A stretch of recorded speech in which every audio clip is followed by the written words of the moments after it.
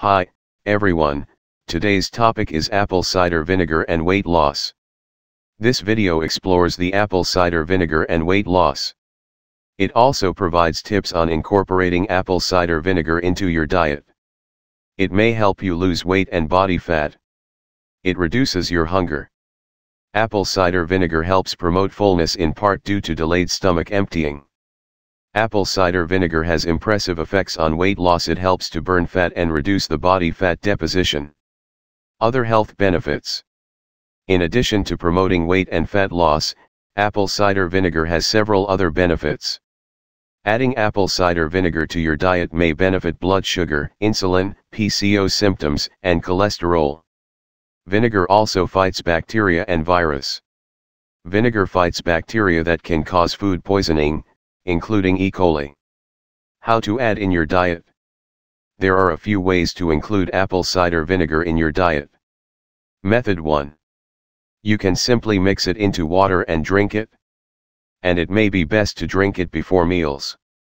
The amount of apple cider vinegar used for weight loss is 1 to 2 tablespoons, 15 to 30 ml, per day, mixed with water. It's important to mix it with water, as undiluted vinegar may burn the inside of your mouth and esophagus. Do not take more than 1 tablespoon, 15 ml, at a time, because taking too much at one sitting may cause nausea.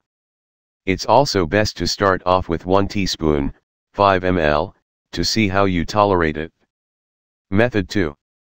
An easy method is to use the apple cider vinegar with olive oil as a salad dressing. It proves particularly tasty with leafy greens, cucumbers, carrot, cabbage, and tomatoes. It is best to take 2 to 3 doses throughout the day. Taking more than this isn't recommended because of potentially harmful effects at higher dosages, such as drug interactions or the erosion of tooth enamel. At the end of the day, taking a moderate amount of apple cider vinegar appears to promote weight loss and provide a number of other health benefits. Hope, this video is useful and thanks for watching our videos. Click the subscribe button to get the next video.